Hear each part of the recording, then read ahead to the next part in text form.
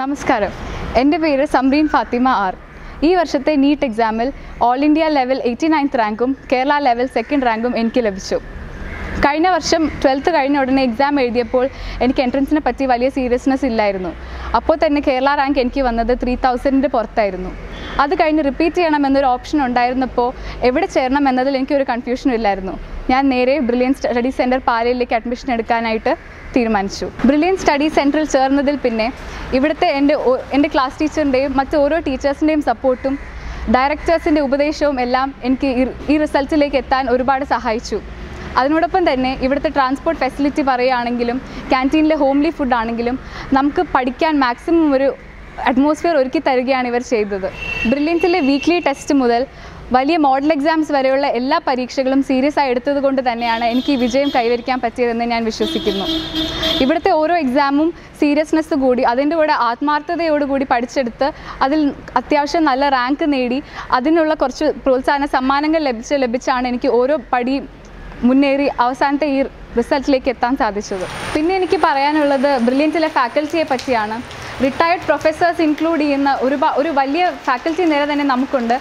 അത് ബ്രില്യന്റിന്റെ ഒരു അനുഭവ ഒരു സമ്പത്തായിട്ട് ഞാൻ കണക്കാക്കുന്നു. അവർ തരുന്ന ഓരോ വാല്യുബിൾ ഉപദേശവും അവരുടെ ക്ലാസ്സും എല്ലാം ട്രഷർ ചെയ്ത് അത്രയും ശ്രദ്ധയോടെ കേട്ടിരുന്നത് കൊണ്ടും കൂടിയാണ് എനിക്ക് ഇവിടെ എത്താൻ കഴിഞ്ഞതെന്ന് ഞാൻ വിശ്വസിക്കുന്നു.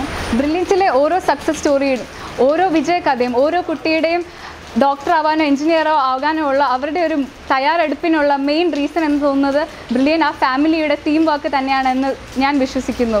കാരണം നമ്മുടെ തന്നെ ഹോസ്റ്റൽ ഫെസിലിറ്റീസ് ആയാലും ക്യാന്റീനിലെ എല്ലാവരുടെ ഹോസ്പിറ്റാലിറ്റി ആയാലും ട്രാൻസ്പോർട്ടേഷൻ ഫെസിലിറ്റി ആയാലും ഇവിടുത്തെ സ്റ്റാഫ് ആയാലും ടീച്ചേഴ്സ് ആയാലും നമ്മുടെ ഫാക്കൽറ്റി ആയാലും എല്ലാവരുടെയും ഒരു കോൺസ്റ്റന്റ് എഫേർട്ട് കൊണ്ട് തന്നെയാണ് ഇവിടെ ബ്രില്യൻസിന് ഇത്രയും നല്ല റിസൾട്ട് ഉണ്ടാക്കാൻ പറ്റിയതും ഇന്ത്യയിലെ തന്നെ one of the best institutions ആകാൻ കഴിഞ്ഞതും എന്ന് ഞാൻ വിശ്വസിക്കുന്നു. എന്റെ ക്ലാസ് ഇൻചാർജ് ഡയറക്ടർ ആയിരുന്ന സന്തോഷ് സാറും ഹോസ്റ്റൽ ഇൻചാർജ് ആയിരുന്ന സ്റ്റീഫൻ സാറും ജോർജ് സാർ സെബാസ്റ്റ്യൻ സാർ അങ്ങനെ നാല് പേര് ഇൻക്ലൂഡ് ചെയ്യുന്ന ഞങ്ങളുടെ ഡയറക്ടേഴ്സ് ബോർഡ് അവർ നാല് പേരും അവരുടെ സപ്പോർട്ട് അവരുടെ കോൺസ്റ്റന്റ് സപ്പോർട്ടും അവർ തരുന്ന മോട്ടിവേഷനും ഓരോ കുട്ടിക്കും അവർ കൊടുക്കുന്ന ഇമ്പോർട്ടൻസും ആരോട് വേണോ ഫീൽ ഫ്രീ ആയിട്ടുള്ള ഒരു എൻവയൺമെന്റ് ക്രിയേറ്റ് ചെയ്ത് ഏത് കുട്ടിക്കും പോയി സംസാരിക്കാൻ പറ്റുന്ന ആ ഒരു എൻവയൺമെന്റ് അവർ ക്രിയേറ്റ് ചെയ്യുന്നുണ്ട്.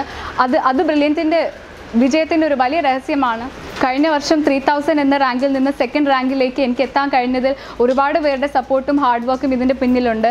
മൈ ഗോഡ് പാരൻസ് ഒരുപാട് പേര് എന്റെ ടീച്ചേഴ്സ് ആയാലും ഇവിടുത്തെ ഡയറക്ടർ ഡയറക്ടർ ബോർഡ് ആയാലും ഫാക്കൽറ്റി ആയാലും അങ്ങനെ ഒരുപാട് പേരുടെ കോൺസ്റ്റന്റ് എഫേർട്ട് കൊണ്ടാണ് എനിക്ക് ഇവിടെ എത്താൻ സാധിച്ചത്. അപ്പോൾ അവരോടും ഞാനൊരു നല്ല ഡോക്ടറായി തീരട്ടെ എന്ന് ആശംസിക്കുന്ന എന്റെ ഓരോ വെൽവിഷേഴ്സിനോടും എനിക്ക് ഒരുപാട് കടപ്പാടുണ്ട്. Thank so much